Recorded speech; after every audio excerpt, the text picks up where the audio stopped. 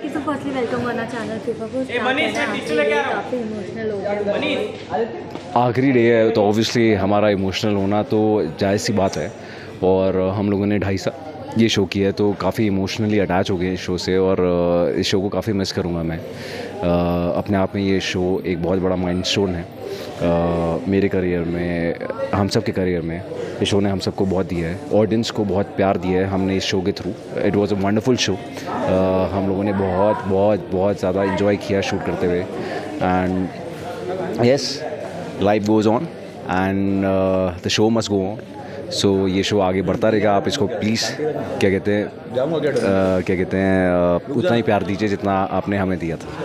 कौन है कौन सेट पे आना रोज एक रूटीन हो? गया तब सेट को कितना मिस करने वाले हैं? ऑब्वियसली सही बात है। सेट को तो क्या कहते हैं मिस करते ही हैं बिकॉज़ रोज़ का रूटीन है। ढाई साल से हम लोग रोज़ आ रहे हैं और रोज़ जा रहे हैं और एक रूटीन सेट हो रखा है। सबसे मिलते हैं हँसी मज़ाक करते हैं। तो बहुत मज़ा आया। ओवरऑल शो ये फैमिली बना लिया है हम लोगों ने और पूरी फैमिली को मिस करूँगा मैं।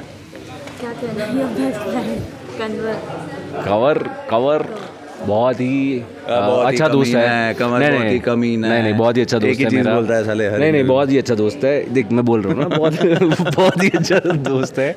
जब भी मैं कवर को मिलता हूँ हम्म। मेरे चेहरे पे ऑटोमेटिकली मुस्कुराहट आ जाती है। मेरी मुस्कुराहट की वजह है कवर। और एक्चुअली अगर देखा जाए रियल लाइफ में भी मैं बोल रहा हूँ कि हम लोग इतनी मस्ती मारते हैं ये इतने जोक्स क्रैक करता है कि सबसे ज़्यादा मैं इसके रूम में जब जाता हूँ तो सबसे पहले मतलब होता है ना कि हम दोनों एक दूसरे की टांग खिंचाई करते हैं और हम लोग बहुत हँसते हैं। और ये सेट पे तो उतना ही परेशान करता है, जितना ये रूम में करता है, क्योंकि इसकी आदत ये है कि कान में भूल जाता है चीज़ें, कुछ भी चल रहा हो, ये अपना कान में इसका चलता रहेगा चलता रहेगा, और मेरी प्रॉब्लम ये है कि मुझसे हँसी कंट्रोल नहीं होती तो मेरी तो वाट लग जाती है, और कितनी बार तो मैंने इसकी वजह से डांट खाई है अपने डायरेक्टर से कि क्या कहते हैं किंशुक तू हंस क्यों रहा है? अरे सर अब मैं क्या बताऊँ, मेरे साइड में कौन खड़ा है? तो हम लोगों ने बहुत इन्जॉय किया and this is a friendship जो हम लोग आगे भी लेके जाएँगे और क्या कहते हैं मुझे पूरा यकीन है कि ये ये हमारी फ्रेंडशिप लॉन्ग लास्टिंग है। हाँ बिल्कुल। तुझे कुछ कहना है? मेरे बारे में तो बोल सकती है। चार मेरा शब्द बोल दे किंचू के बारे में। जाते जाते थोड़े अच्छे शब्द बोल देते हैं। He's my favorite, he's my favorite, he's my favorite, he's not my favorite.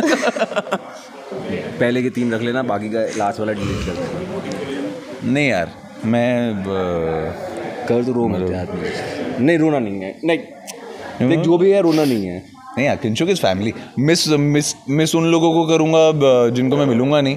I think Kinchuk Deve are my family so हर रक्षाबंधन में आना ठीक है?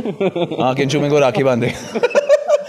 हाँ मतलब इससे इससे मेरे को फ़र्क नहीं पड़ता मेरे को मेरी बहन से फ़र्क पड़ता है। क्या कहते हैं हमारा ये चलता रहता है। हाँ। ये चीज़ हम लोग मिस करेंगे। है ना? एलिस आप कुछ बोलना चाहेंगी? आप शिवा को मिस करेंगी कि नहीं करेंगी? क्या उंगली क्या दिखाई आपने?